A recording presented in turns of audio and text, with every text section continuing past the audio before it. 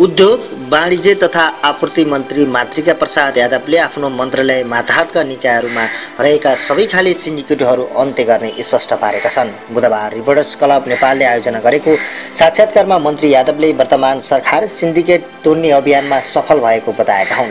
उनले भने गृह मन्त्रालयबाट सुरु भएको अभियान अहिले सफल भएको छ। यातायात व्यवसायीहरू गाडी चलाउन तयार भएका छन्। गाडीको सिट क्षमताभन्दा बढी यात्रु बोकेर जनताको जीवनप्रति नै खेल्नेहरू अहिले तह लागेका छन्। अहिले व्यवसायीहरूले पनि हाम्रो अभियानलाई सहयोग गरेका छन्। हामी सबै पक्षलाई धन्यवाद दिन चाहन्छौँ। किनकि अब ज्यानमारा सिन्डिकेट अन्त्य भएको छ। सरकार साक्षात्कारमा बोल्दै मन्त्री यादवले आफूले सबै प्रकारका सिन्डिकेटको अन्त्य गर्ने विश्वास दिलाए। उनले भने हाम्रो नीति नै सबै क्षेत्रको सिन्डिकेटको अन्त्य गर्नु हो। हामी अहिले त्यही अभियानमा छौँ। प्रधानमन्त्री केपी शर्मा ओलीले पनि समृद्ध नेपाल र सुखी नेपाली बनाउँछौ भनेको र माओवादी केन्द्रका अध्यक्ष पुष्पकमल दाहाल प्रचण्डले भ्रष्टाचारीहरूलाई जेल हाल्नुपर्छ भनेकोले सरकार सोही अभियानमा लागेको उनको भनाइ थियो। उनले थपे हामी भ्रष्टाचारी सहँदैनौँ हुन त नारा दिन सजिलो छ तर त्यसलाई व्यवहारमा उतार्न गाह्रो हुँदो रहेछ।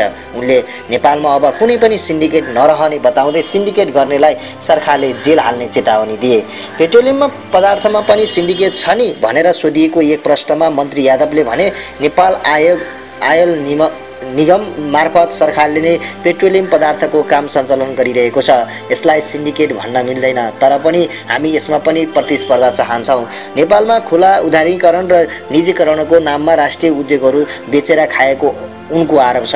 पूर्व अर्थमन्त्री डाक्टर रामशरण महतप्रति लक्षित गर्दै मन्त्री यादवले भने जसको अर्थनीतिले मुलुकको अर्थतन्त्र ध्वस्त भयो उनी व्यक्तिलाई बेस्ट फाइनेन्स मिनिस्टर भनेर अवार्ड दिए। अहिले उत्कृष्ट अर्थमन्त्री भनेर मूल्याङ्कन गर्नेहरू नेपालको अर्थतन्त्र ध्वस्त भयो भनेर मजा लिइरहेका छन्।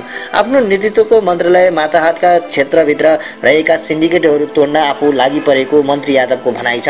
विराटनगर जुट मिल अहिले शीघ्र रुग्र अवस्थामा रहेको उल्लेख गर्दै उनले भने जुट मिलमा रहेका मेसिनहरू बोक्न सक्ने जति बोकेर नसक्ने जति ट्रकमा हालेर पनि सामानहरू चोरिएका छन्। सञ्चालक समितिका एक सदस्यलाई सोद्धा कहाँ चोरी हुन्छ भनेर जवाब दिन्छ किनकि अहिले सरकारी सम्पत्ति लुट्ने मानसिकता छ नि। यी सबै समस्याहरूको हल गर्नको लागि एउटा सशक्त न्यायिक छानबिन समिति गठन गरे पनि गर्ने पनि उनले बताए। विभिन्न क्षेत्रमा भएका हिनाबिनाहरूलाई छानबिनको दायरामा ल्याउनको लागि र कारवाही गर्न हामी तयार छौँ उनले चेतावनी दिए। बन्द रहेका उद्योग तथा कल कारखानाहरूलाई सरकारले सञ्चालन गर्ने विश्वास दिलाउँदै मन्त्री यादवले सरकारले कुनै पनि उद्योग धन्दाहरू नबेच्ने स्पष्ट पारे। उनले भने जति नीति तथा कार्यक्रम यी सबै विषयमा कुराहरू आउँछन्। अहिले हामी छलफलका चरणमा छौँ। उनले अब आउने नीति तथा कार्यक्रममा रोजगारको लागि उत्पादन भन्ने नारा राख्ने बारे पनि छलफल भइरहेको अग्रिम जानकारी दिए। उनले नेपालको व्यापार घाटा घटाएको घटाउनको लागि सरकारले उत्पादन बढाउनु पर्नेमा जोड दिए। अल्नो अदुवा अलैँची र पस्मिना जस्ता उत्पादनहरू हाम्रो ब्रान्ड हुन्। यिनीहरूको मार्केट बढाउनुपर्छ उनले थपे। तिलगङ्गा आँखा अस्पतालले नेपालमै लेन्स उत्पादनको काम गरिरहेकाले सरकारले दस करोड रुपियाँ सहयोग प्रदान गरेको बताउँदै मन्त्री यादवले भने नेपालमा सियो पनि उत्पादन हुँदैन भन्ने थियो तर यहाँ लेन्स उत्पादन भइरहेको छ। यो कुरा कसैलाई पनि थाहा छैन। अब हामीले स्वदेशी उत्पादनलाई निर्यात गरेर विदेशी उत्पादनहरूको आयात कम गर्नुपर्छ। उनले नेपाली युवाहरूलाई वैदेशिक रोजगारमा जान रहर नभएको भन्दै अब स्वदेशमै आकर्षण पैदा गर्ने गरी सरकारले काम गर्ने जनाए। यद्यपि उनले छुमन्तर भने जस्तो रातारात हुने काम नभएको स्पष्ट पारे। उनले भने हामी मुलुककै युवाहरूलाई रोजगारी दिलाउने गरी काम गर्छौँ तर समय लाग्छ स्टेप वाइज काम हुन्छ। सस्तोमा श्रम बेच्ने र महँगोमा किन्ने काम भइरहेको प्रति उनको दुःख थियो उनले भने अब यस्तो हुन् हुनु हुँदैन। सस्तोमा श्रम बेच्ने र महँगोमा किन्नेको खैरियत छैन। उनले क्षमता अभिवृद्धिको लागि स्कुल खोल्ने पनि तयारी भइरहेको जनाए। नेपालमा अहिले पेट्रोलियम पदार्थको मूल्य भारतभन्दा पनि कम रहेकाले विद्यार्थीहरूलाई अन्तर्राष्ट्रिय परिस्थिति बुझिदिनको लागि समेत उनले आग्रह गरे। उनले भने हामी कुनै पनि चिज लुकाउने पक्षमा छैनौँ। म स्वयं कुरा खुला गर्छु।